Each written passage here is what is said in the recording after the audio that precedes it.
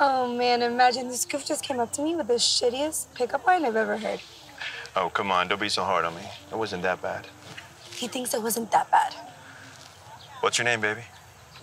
Uh, wait a second. If you don't expect me to shit myself and cry all the time, don't ever call me baby. Well, if you give me your number, I'll call you whatever you want. You're not giving up, I see. I like a challenge. Really? Really? Let me call you back. Write down.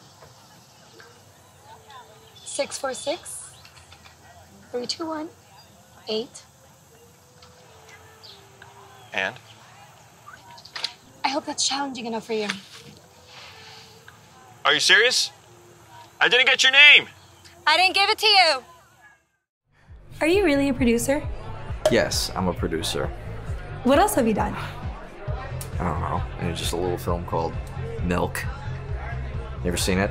Yeah, it won like 10 Oscars. I know. I don't like to brag. I'll have an orange juice. Coffee for me. Thanks, Meg. All right, that was close. I'll go intercept him. You pay for our drinks, and we'll meet you outside. Wait, wait, wait, wait, wait. If he asks why we're leaving, what, what are we gonna say? Um, I'll just say that there's a bug in your orange juice. No, that's not bad enough. Not a bug. Uh, a human ear.